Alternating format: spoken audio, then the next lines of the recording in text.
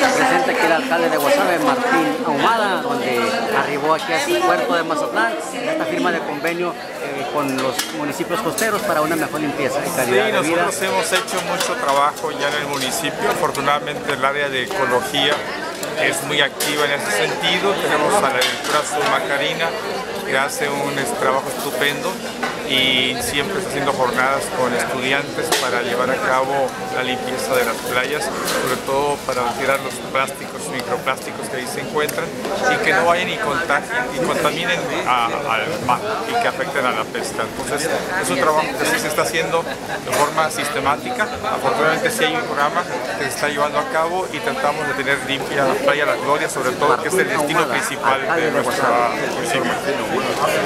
Alcalde, eh, buenas tardes. Preguntarle, alcalde, cómo el tema de los pagos de